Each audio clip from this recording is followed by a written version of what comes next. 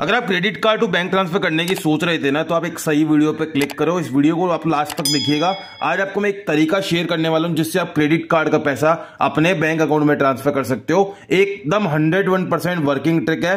किसी भी बैंक का कोई भी क्रेडिट कार्ड अगर आपके पास अवेलेबल है ना, चाहे वो आपके पास यहाँ पे SBI का कार्ड हो, चाहे यहाँ पर जो है आपके पास अमेजन पे का आईसीआईसी का क्रेडिट कार्ड हो, या किसी और बैंक का क्रेडिट कार्ड हो चाहे वो आईडीएफसी फ़र्स्ट बैंक का क्रेडिट कार्ड हो, किसी भी तरह का कोई भी क्रेडिट कार्ड है, उससे आप इस पैसे को बैंक में ट्रांसफ़र कर सकते हैं। तो बिना किसी देरी के यहाँ पे शुरुआत करते हैं। मैं यहाँ पे पर्सनली यूज़ करने वाला हूँ वन कार्ड का क्रेडिट कार्ड बिकॉज़ यहाँ पे जो क्रेडिट कार्ड यूज़ करना थोड़ा आसान हो जाता है वन कार्ड का, इसलिए मैं वन कार्ड को यहाँ पे यूज़ करने वाला हूँ। साथ में आपके कार्ड पे जो भी रिवॉर्ड्स मिलते होंगे ना, वो रिवॉर्ड्स भी आपको इस वीडियो में मिलने वाले हैं।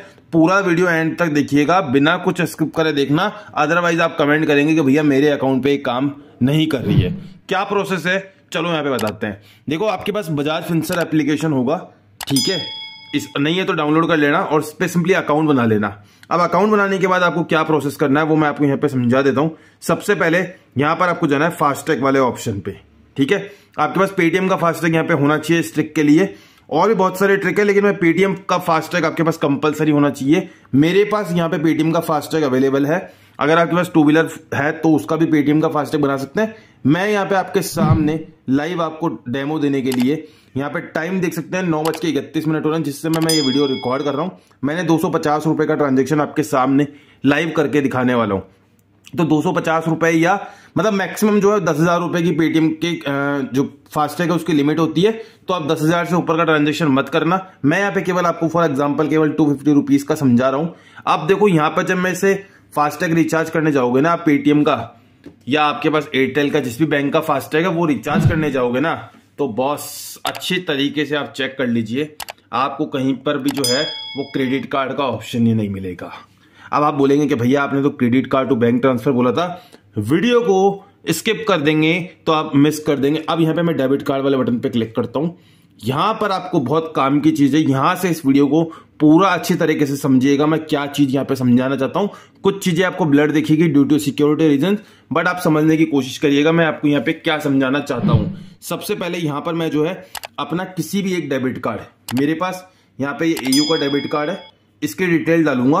बट यहाँ पे मैं इस वन कार्ड से इसे रिप्लेस करूँगा। किस तरीके से करूँगा, वो आपको देखना बहुत ही ज़्यादा इंपॉर्टेंट है। तो किसी भी बैंक का डेबिट कार्ड आपके पास है ना, उसकी डिटेल डाल दीजिए सबसे पहले।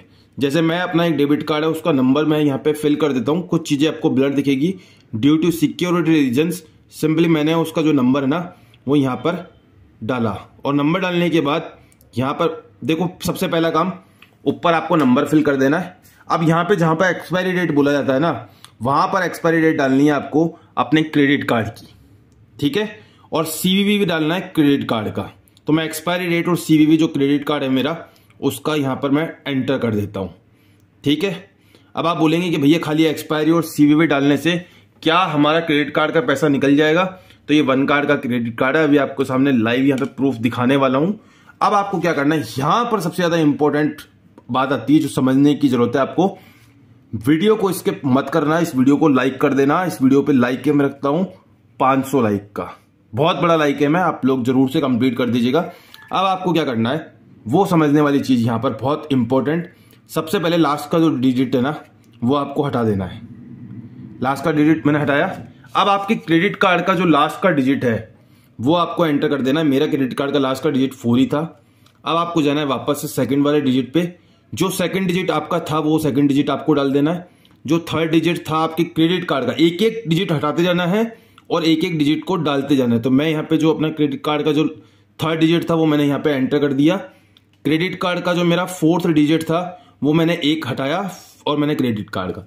अभी की सिचुएशन पे मेरे स्टार्टिंग के जो बारह करेक्टर हैं, वो तो मेरे डेबिट कार्ड के हैं लास्ट मेरे करेक्टर बचे हैं, वो क्रेडिट कार्ड के हैं। इसी तरीके से ये चार भी हटा लूँगा, ये चार भी हटा लूँगा, सारे क्रेडिट कार्ड मतलब डेबिट कार्ड के जो लास्ट के ना, अभी तक मैंने चार हटा लिए, अब मैं पाँचवें नंबर वाले पे हटाया, और पाँचवें नंबर पे जो मेरा डिजिट है, वो मैंने पाँचवें नंबर पे लगा दिया।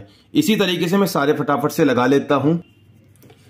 अब देखो, यहाँ पे आपको कुछ चीज़ें ब्लर दिख रही होंगी। ब्लर में भी आप कुछ चीज़ें पहचान सकते हैं। मैंने अपने क्रेडिट कार्ड की डिटेल यहाँ पे डाल दी और आपके सामने मेरे पास यहाँ पे नोटिफिकेशन आएगा। वन कार्ड की तरफ़ से ये नोटिफिकेशन आने वाला दो सौ पचास रुपए का लाइव मैंने यहाँ पे पेमेंट वाले बटन पे क्लिक किया।